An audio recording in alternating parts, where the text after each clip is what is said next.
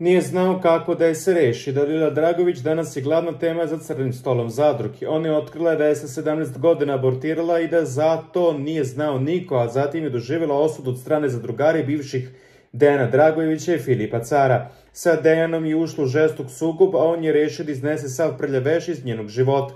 Tokom reklama Dejan je Marko Đedović je otkrio o Dolilinoj prevari i za to gradete iz Čačka i za kuću. Iz ovog Hođića kažu da je dobro čovjek i lep, ima lepu ženu, ali da je nastao haos od strane nje, da ga je non stop zvala, unakazala ga je. Nije znao šta da radi više od nje, hteo je da se ubije. Nikome nije hteo da priča, samo jednoj osobi se poverio. Valja zbog dece nije znao šta da radi, nabacivala mu se, započeo priču Marko. Ma sve znam koliko ga je zvala i šta je radila, za sve imam dokaze, sad verujem u sve, tad sam bio zaljubljen.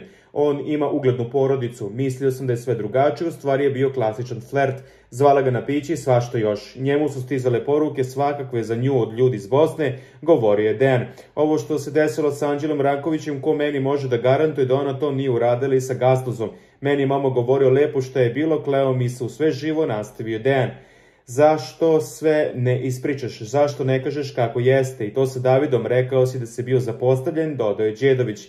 Ma ja sam to spomenuo kako me nikada nije vodio u grad jer je bio stariji od mene i koji još vodio svoje mlađe rođake u provod. Trebalo je da idem na work and travel u Ameriku, ali sam ostao zbog Girosa. Lupa gluposti bre, mi u kući nikada nismo imali raspravu, nikada se moji nisu svađali. Moje keva je samo sa mungosom bila i to laže. Ćale kada je dolazio nije želeo da dođe do kapi ulice pa se parkira na ćošku, to je jedino što je bilo, dodao je Dejan.